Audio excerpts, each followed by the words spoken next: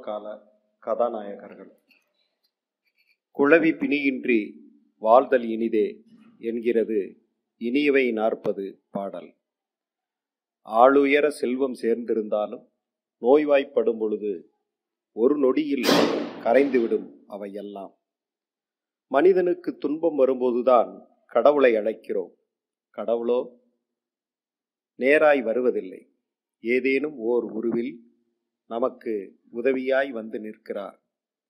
தினைத்துணை நன்றி செய்யினும் பனைத்துணையா கொள்வார் பயன் தெரிவார் அன்றோ.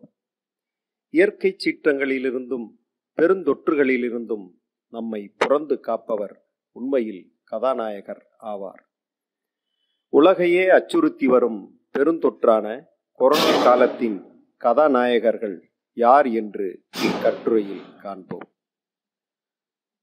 சுத் தெய்வீகத்திற்கு அடுத்தபடி.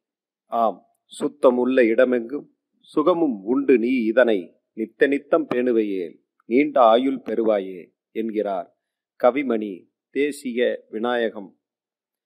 நுண்கிருமிகளின் உற்பத்திக்கு பெரிதும் காரணம் சுத்தம் இன்மையே.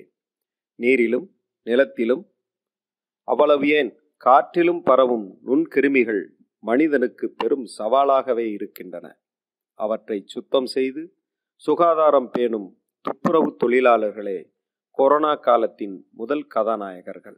ஆம் வீதிகள் தோறும் கிருமி நாசினி தெளித்தும் கையுறை அணிந்து கொண்டு குப்பைகளை கூட்டி தள்ளி அதனை அள்ளி எடுத்து துப்புரவு பணி செய்யும் அவர்கள் பணி மகத்தானது. ஏளனமான பார்வையுடன் இனியும் அவர்களை பார்த்தோமானால் அது கடவுளுக்கே நாம் விடுக்கும் சவாலாகும். மருத்துவமனை கழிவுகள் நோயாளிகளின் ஆடைகள் நாள்தோறும் சேரும் குப்பைகளுடன் போராடி கொண்டிருக்கிறார்கள் என்பதை நாம் மறந்துவிடக்கூடாது. கடவுளுக்கு நிகரானவர்கள். அன்னை தெரசாவே நீ கருவுற்றிருந்தால் ஒரு குழந்தைக்குத்தான் தாயாகி இருப்பாய். கருணை உற்றதால் எங்கள் எல்லோருக்கும் தாயாகிவிட்டாய் என்கிறது ஒரு புதுக்கவிதை.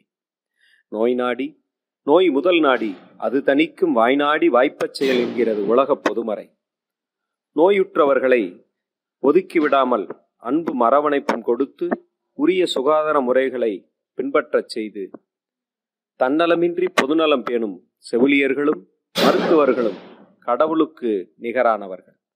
எந்த ஒரு மனிதனும் சக மனிதனை கையெடுத்து கும்பிடத் தயங்குவான். ஆனால் ததும்பும் கண்ணீருடன் இருகரம் கூப்பி ஐயா நீங்கள் என் தெய்வம் என்று வணங்குவது மருத்துவர்களைத்தானே? பாக்டீரியாக்களும் வைரஸ்களும் இருப்பது தெரியாமல் சுத்தம் செய்யும் சுகாதார பணியாளர்கள் கதாநாயகர்கள் என்றால் கிருமி இருப்பது தெரிந்தும் தொற்று நோய் இருப்பவர்களுக்கு சிகிச்சை அளிப்பவர்கள் அவர்களின்றும் ஒருபடி மேலே நின்று நம் உள்ளம் நிறைகிறார்கள். வாடிய பயிரை கண்டபோதெல்லாம் வாடினேன் என்றார் வள்ளலார். பிறர் பசியோடு இருக்க தான் உண்ணும் வழக்கம் தமிழரிடம் எப்போதும் இருந்ததில்லை. ஈயன இறத்தல் இழிந்தன்று ஈயேன் என்றல் அதனினும் இழிந்தன்று. கொல்லென கொடுத்தல் உயர்ந்தன்று கொல்லேன் என்றல் அதனினும் உயர்ந்தன்று என்கிறார் களைதின் ஏனையார் தம் புறநானூற்று பாடலில். பெருந்தொற்று காலங்களில் அன்றாடங்காட்சிகளின் நிலை மிகவும் பரியதாபத்துக்கு உரியதாகிவிட்டது. எனினும் ஈகை இருக்கும் வரை இவ்வுலகில் ஓருயிரும் பசியால் மாயாது. ஆம் அதனால்தான் தனியொருவனுக்கு உணவில்லை எனில் இச்சகத்தினை அழித்துவிடுவோம் என்றான் முண்ட பாரதி. அள்ளி கொடுத்த வள்ளல்களின் வழித்தோன்றர்கள் அல்லவா நாம்?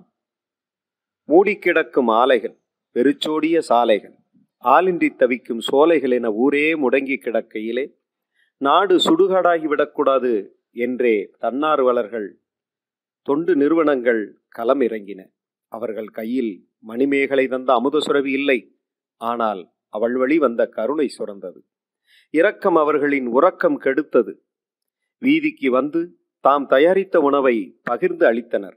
பசிப்பினி போக்கினர். கண்முன் கதாநாயகர்களாக இன்றைக்கும் அவர்கள் மிளிர்கின்றனர். இரும்புக்கும் இதயம் உண்டா? ஆம் உண்டு. கருப்பு சட்டைக்காரன் காவலுக்கு கெட்டிக்காரன் என்பார்கள். ஆனால் அந்த பூட்டையும் உடைத்து தேட்டை போடும் புல்லுருவிகளையும் பிடித்து நீதி தேவதை முன் மண்டியிடச் செய்யும் காக்கி சட்டைக்காரர்களே. காவலுக்கு கெட்டிக்காரர்கள் என கொரோனா காலம் நிரூபித்து விட்டது. நிரூபித்து விட்டது. வீட்டை பூட்டிவிட்டு வெளியே வந்தால் நூற்றி நாற்பத்தி நான்கு தடை உத்தரவு. அதையும் மீறி அத்தியாவசிய பொருள் வாங்க வந்தால் முகக்கவசம். இரவு நேர தடை சனி ஞாயிறு நடமாட தடை என அரசு தம் இரும்பு கரம் கொண்டு அடக்கி வைத்து நோய் பரவலை கட்டுப்படுத்துகிறது. வீட்டில் மனைவி மக்கள் எவரையும் அருகிருந்து பேண முடியாமல் உணவின்றி மாற்ற உடையின்றி இரவும் பகலும் ஓய்வின்றி விழித்திருந்து மக்களை காத்த காவல்துறை நண்பர்கள் என்ற இடத்தை தாண்டி கதாநாயகர்களாக தெரிகிறார்கள் என் கண் முன்னே. கொள்ளை நோய்கள் வருங்காலத்திலெல்லாம் நுண்கிருமிகளை கிருமி நாசினி கொண்டு விரட்டுவதும் தனித்திருப்பதும் முகக்கவசம் அணிவதும் மக்களுக்கு வாடிக்கையாகிவிட்டது.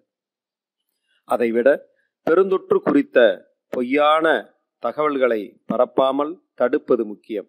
அரிது அரிது மானிரராய் பிறத்தலராய் பிறத்தல் அரிது என்கிறார் ஔவை. ஆறறிவு கொண்ட மனிதனின் முன் ஓரறிவு உயிரி என்ன செய்துவிட முடியும் என்ற துணிச்சல் ஒரு பக்கம் இருந்தாலும் நோய் எதிர்ப்பு சக்தியை கபசுர குடிநீர் நிலவேம்பு குடிநீர் பப்பாளி இலைச்சாறு சத்தான உணவுகள் மூலம் அதிகரிக்க வேண்டும். விழிப்புடன் தன் சுத்தம் பேணினால் எந்த நுண்ணுயிரிக்கும் எதிராக போராடுபவர்கள் நாம் என்ற தன்னம்பிக்கை இழக்கக்கூடாது. விழிப்புடன் இருப்போம். வெற்றி நமதே. ஆம். எதிரதா காக்கும் அறிவினார்க்கு இல்லை. அதிர வருவதோர்